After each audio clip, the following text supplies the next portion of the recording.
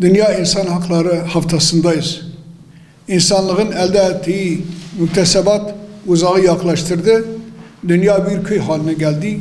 Dolayısıyla dünyanın genel gidişatı her bireyi ilgilendirecek duruma geldi. Bu münasebetle İnsan Hakları Cemiyeti olarak diyoruz ki, bir, hemen yan başımızdaki Irak ve Suriye uluslararası şeytani heveslerin kurbanı oldular. Doğu Türkistan, Myanmar, Keşmir, Yemen ve Filistin'de yapılan zulümler devam ediyor.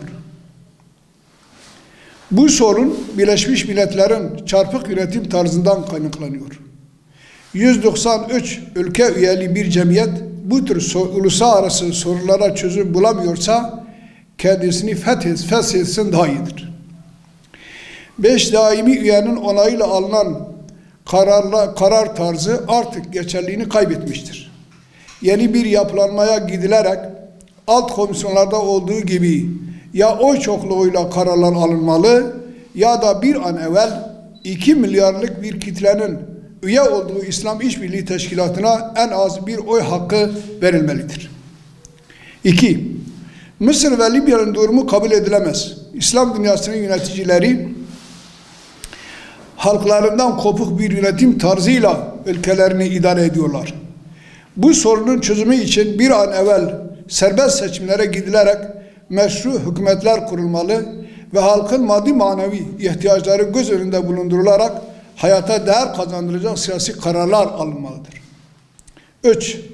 Ülkemizde ithal kanunlarla teşekkül edilmiş sistem halkın inanç ve kültürüne meydan okuyor.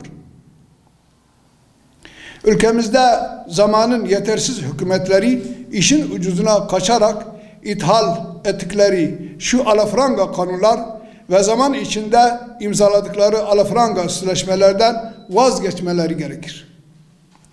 Devletin iskeleti olan sistem 23 Nisan 1920 tarihinde bir cuma günü dualarla açılan ve ve emruhum şura beynehum onların işleri aralarında istişare iledir. Ayet-i kerimesi atmosferinde faaliyet gösteren meclisin ruhu, İstiklal Marşı'nın tamamının özüyle barışık, veda hutbesinin teması, temasını norm alan bir yapılanmaya gidilmelidir.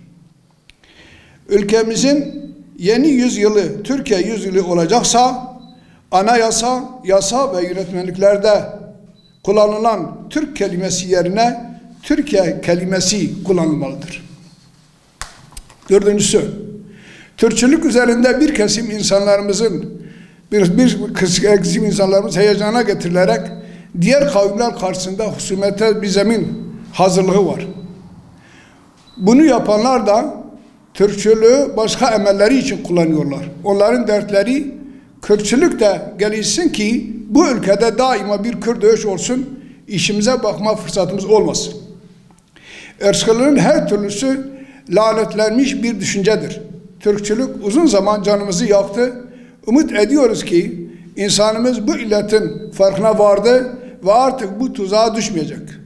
Aslında Türk halkının böyle bir derdi de yoktur. Seçimlerde halk daima merkez yönet partilere yetki veriyor.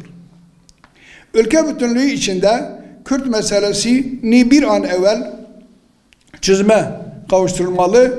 Bu ülke büyük bir ülke ama onu şanla yakışır bir tarzda yönetmediğimiz için huzur bulamıyoruz. Yapılacak yeni bir anayasa ile halkların huzur ve güveni tesis edilmeli. Birbirimizle uğraşmadan uğraşmadan yolumuza devam etmeliyiz. Beşincisi, bireysel bazda can, mal, akıl, nesil ve din bakımından ihlaller yaşanıyor.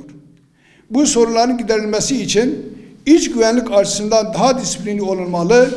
Bürosunda çalışan herkes kendini güvende hissetmeli.